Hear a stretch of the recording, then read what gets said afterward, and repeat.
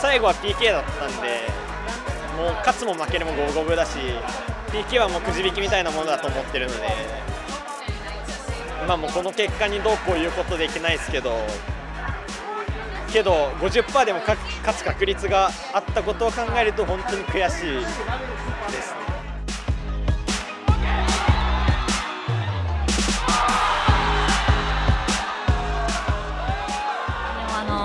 延長戦までもつれ込んで最後ちょっと悲しい結果だったんですけども本当にあのいい試合を見せてもらってもう120分ずっと楽しかったです。本当にお疲れ様でした。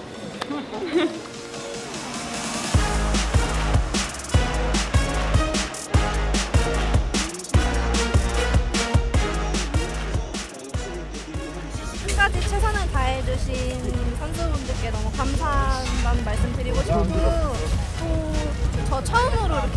진출한 것도 보게 되고 거리 응원까지 나와봤는데 이런 경험까지 선사해 주셔서 너무 감사하다고 전해드리고 싶어요.